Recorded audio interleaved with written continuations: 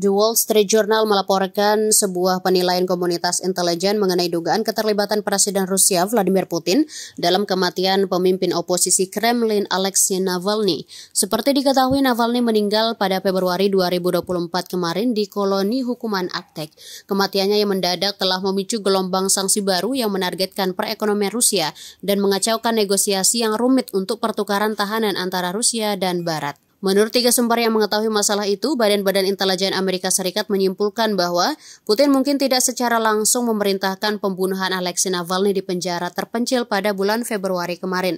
Meski demikian, sampai sekarang penyebab pasti kematian pemimpin oposisi di penjara Arktik masih belum jelas. Penilaian tersebut tidak meloloskan Putin dari tanggung jawab utama atas nasib Navalny. Menurut sumber-sumber tersebut, dengan mengirim Navalny ke koloni hukuman dengan keamanan tinggi yang terkenal di kota terpencil di atas lingkaran Arktik, Kremlin secara efektif telah menjatuhkan hukuman mati kepada pemimpin oposisi tersebut. Temuan ini mencerminkan konsensus luas di berbagai badan intelijen mengenai kasus Navalny. Setelah kematian Navalny, Presiden Amerika Serikat Joe Biden mengatakan meskipun Washington kekurangan informasi mengenai keadaan sebenarnya, tidak ada keraguan bahwa kematian Navalny adalah konsekuensi dari tindakan yang dilakukan Putin.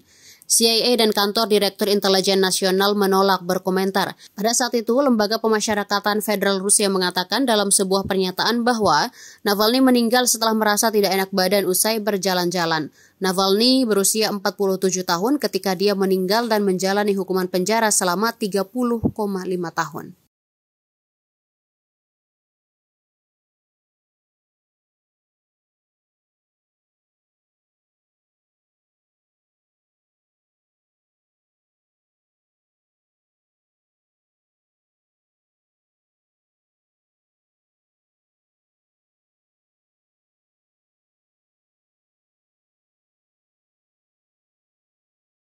Download Tribun X sekarang. Menghadirkan lokal menjadi Indonesia.